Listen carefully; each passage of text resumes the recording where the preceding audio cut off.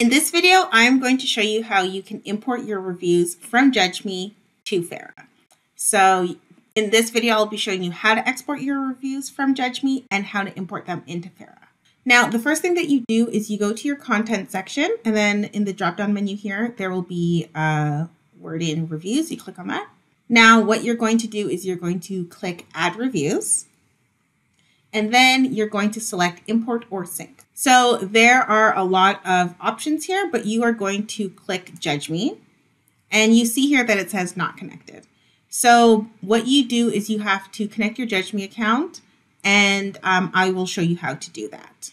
All right, so when you're in the back end of your store, so on Shopify or any other platform, you'll be in the Judge.me product reviews backend and then you're going to go ahead and you're going to click settings. Now the next place that you're going to go is you're going to go to integration. So go ahead and click integrations. And there is a little tab down here called developers. So you click on developers.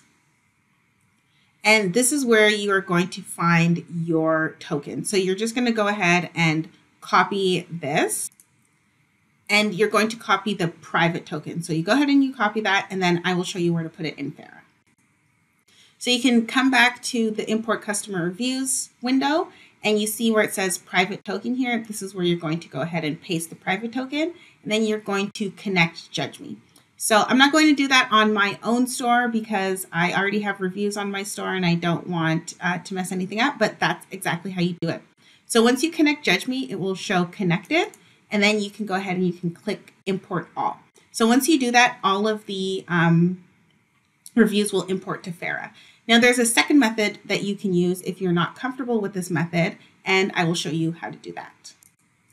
All right, here's the second method to um, exporting your reviews from Judge.me and importing them into Fera. So you see that there is this import and export tab. You go ahead and you click that and you click on this that says export reviews. And then you can export your reviews and it will uh, show up as a CSV file. So let's go, go ahead and uh, click export reviews. And then you see it uh, shows up as a CSV file. So now I'll show you what to do with that CSV file.